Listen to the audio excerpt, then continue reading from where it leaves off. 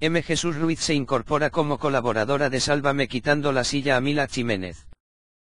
María Jesús Ruiz se ha incorporado esta tarde a Sálvame como nueva colaboradora del programa y lo ha hecho como si de una diva de Hollywood se tratara.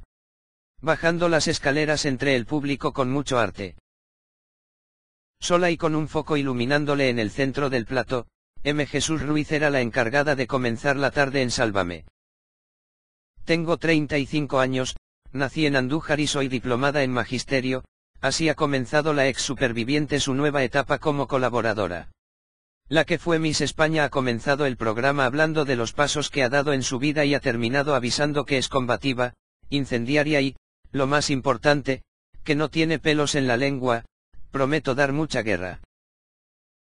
Según recoge exclusiva digital, María Jesús afirma no tener miedo a nada ni a nadie, pero enseguida llegaba la polémica cuando Gema López le recordaba la de veces que ha mentido en el plató y se sentaba en el sitio de Mila Jiménez, que entraba diciendo, se va una tres días y, cambia todo.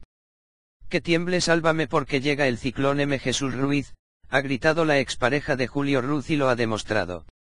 Antes de encontrarse con sus compañeros, explicaba que pone pasión en todos los retos que acepta y negaba tener miedo a ninguno de sus nuevos compañeros.